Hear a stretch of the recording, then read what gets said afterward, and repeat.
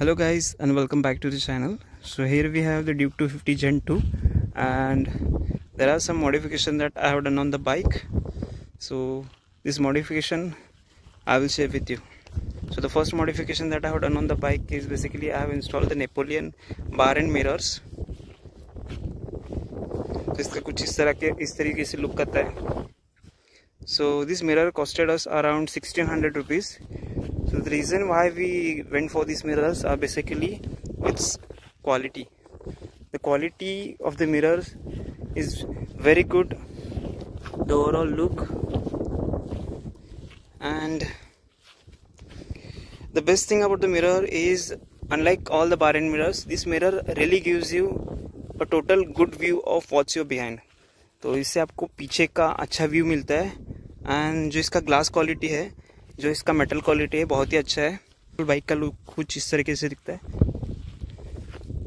बहुत ही proportional look दिखता है इससे। यहाँ से कुछ इस तरह का लुक आपको मिलता है बाइक से। And the best part about this mirror you can install this mirror over here also यहाँ पे हमारा जो है थ्रेड्स गए इधर के। So that so we have install the mirror over here you can use as a bar end and you can use over here also so no issues with that and the second modification that we have done is we have installed the CNC adjustable tilt TD on the bike install this bike make sure you install it at a good angle की जो number plate है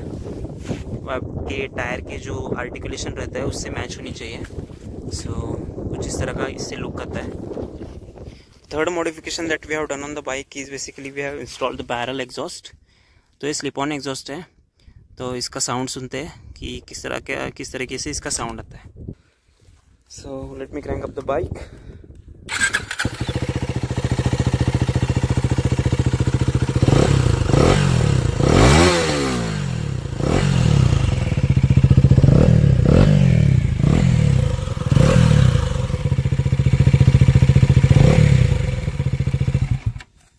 तो कुछ इस तरह का इसका exhaust sound है, ये स्लिप ऑन है, क्योंकि हमको लाउड नहीं चाहिए।